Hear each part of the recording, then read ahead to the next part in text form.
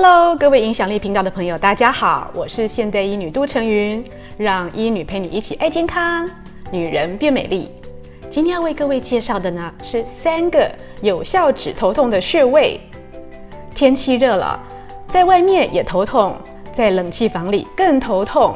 看到朋友纷纷出游，我却郁闷地坐在办公室里，感觉是不是头痛更糟糕了呢？夏天的头痛呢，大部分是因为血管膨胀收缩不良所引起的。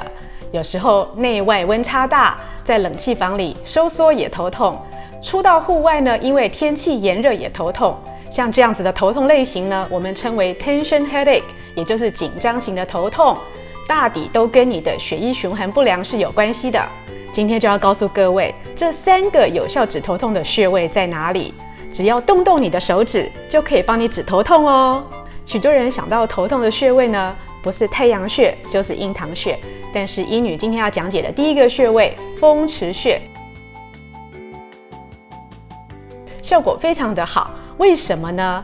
因为我们所有的血流上行都要经过我们的脖子才能到头部，所以呢，如果你的脖子僵硬，紧张受到温差的影响，收缩不佳的时候呢，就会引起你的头痛。所以，我们第一关要缓解的是你脖子这里的穴位。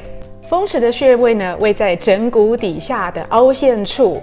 那许多人呢，可能不太清楚怎么样算同身寸的方法，告诉一个各位最好的解决方式：将你的手心呢按在你的耳朵上。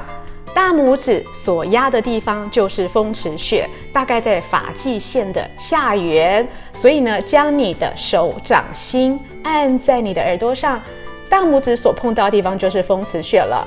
此时呢，也不需要用你的大拇指去用力，只要将头轻轻的往上抬，你的大拇指施压的地方就可以很轻松的按到风池穴喽。第二个要介绍的头痛的穴位呢，叫做翳风穴。翳风穴呢，在耳垂的下方，所以呢，我们找到我们的耳朵的时候呢，将你的耳垂压下去，会找到一个凹陷处。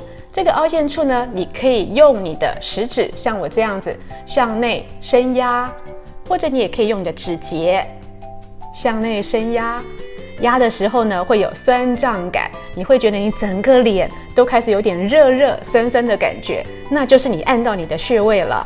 第三个要为各位介绍的有效解决头痛呢，叫做帅骨穴。